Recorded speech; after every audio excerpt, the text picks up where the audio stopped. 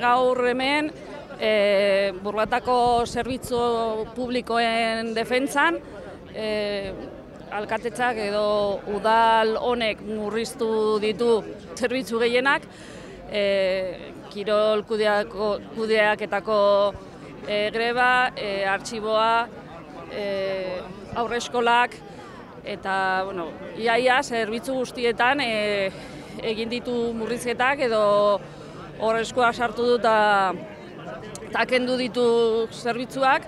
Alcaldesa! Dimisión! Alcaldesa! Dimisión!